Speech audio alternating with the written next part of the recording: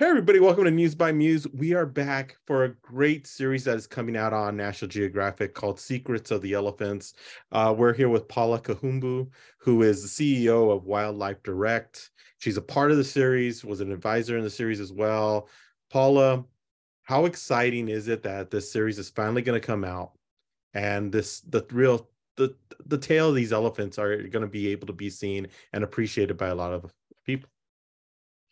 Well, I'm I'm so excited. It's almost unbelievable that the film and the whole series is about to come out. It's taken um, more than a year to produce the series, and it's so hard to know when you're in the field and you're filming. It's so hard to know how it's all going to come together, and is it really going to be a story that people will want to watch? Uh, are there are the elements going to really work together? And and even when you're in the field sometimes you know things just don't happen the way you want them to happen. But this story is so important and the elephants all the different kinds of elephants and the different locations that we have ele- elephants um, these are things that matter not just today but for the future. So i'm so excited. I'm i'm scared. I'm i'm quite jittery about it I'm I'm really looking forward to hearing what people think about it.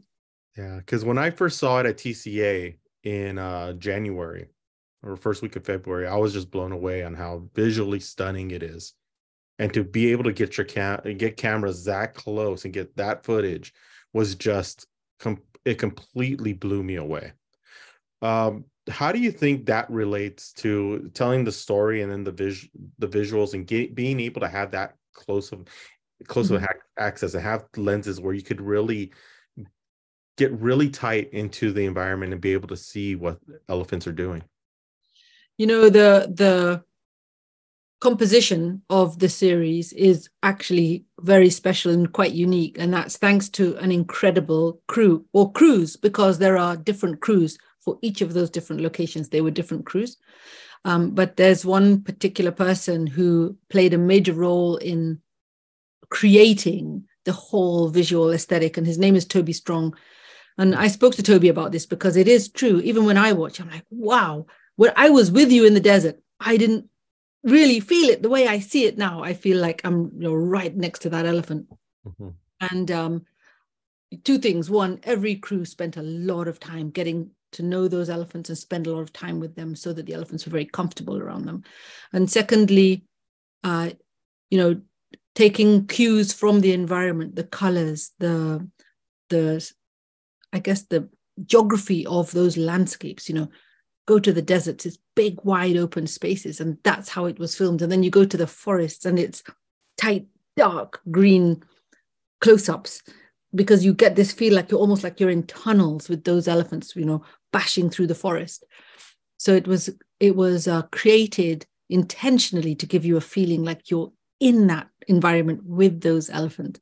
That's what I think is the genius of the series. Many people have told me exactly what you just said. It feels like you're right there with them, and and um, and I think the soundscape brings you into a. You almost from the sound alone, you feel like you're there. You can feel the sound of their trunk as it grazes on the soil. It's yeah, very very um, professional work. I'm I'm blown away by the people we've been working with. It's a masterpiece, really. Yeah, and I wanted to take a, for our next couple of questions, take an episode, and one is the desert because I think that was the most fascinating to see the how animals, how the elephants are looking for food and water, and they have to travel. There's no time to stop and rest to be able. They're constantly in the move, looking for food and water due to the the climate and the way the environment has been. Uh, telling that storyline and being able to really enforce especially now with global warming we're seeing especially here in la we've had weird weather and weird rainstorms that people say oh well it's just rain. No there's a purpose to this. You, you this is what our effect is here in this location. When you see this show you see the effect where those elephants are in the desert.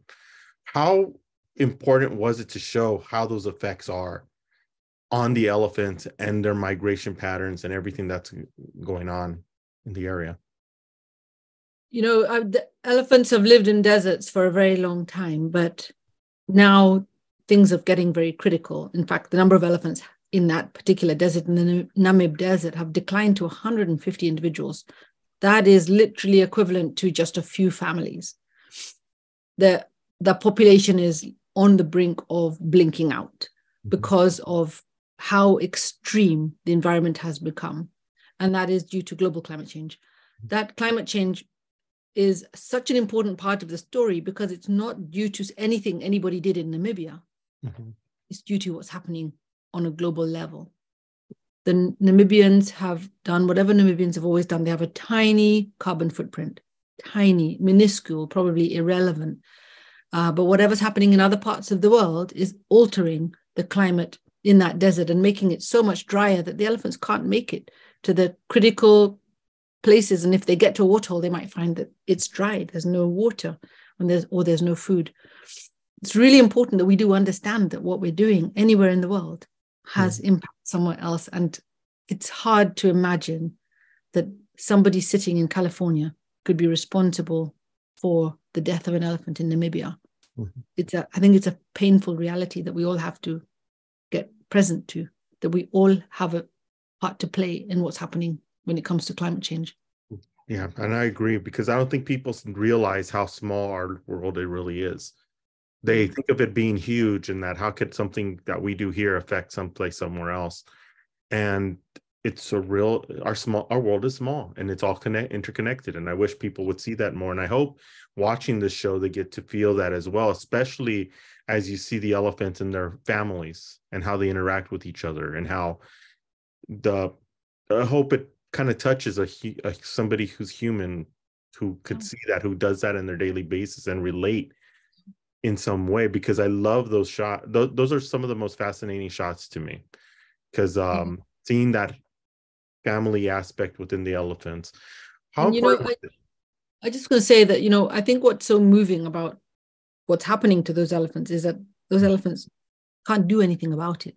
You know, mm-hmm. humans can build a house or put in a water tank. Mm-hmm. The elephants are literally um, at the effect of the environment. They can't change anything and they can't speak for themselves. Um, they have no voice. They're, that's that's what makes it even more pitiful, maybe, or or uh, you know we should be we should be even more sensitive to it because it's not just humans who do have some choices or have a voice to say hey this is happening to me. The elephants don't have that. And it's just we're lucky. These are the largest mammals on land. We can see them. What about the beetles and all these other small animals? We're not even seeing what we're doing to them. Yeah exactly. Especially like here bees are like where where it's being affected uh, a lot. We don't we see the number of bees being starting to drop and you could just it's all related and i wish more people would see that. And hopefully this show does because i think showing the family aspect of the of the elephants showing how they are especially with the birth of a new elephant how protective they are in order to and how they circle a baby hopefully it kind of shows mm-hmm. more people and it really relates to them a lot more yeah yeah yeah but um we're going to have to wrap it up uh, really soon, but I just wanted to say thank you. Uh, wish we had more time to talk a little bit more about this, but uh, thank you so much, Paula, for stopping with us. I think this is a fascinating show. It's one of National Geographic's best, and I'm looking forward to seeing more uh, throughout the season. Well, thank you so much. I really appreciate your questions, and I look forward to to reading your. Um, is it is it an article or it's a podcast? It's it's a uh, it's going to be a video for our network uh, as okay. well as our YouTube channel, and we'll put it into the website as well. So you'll be having you'll be able to see the video very soon. Fantastic! Thank you, thank you so much for for your um, attention to this. I really appreciate it. No problem. I love it. Thank you so much, Paul.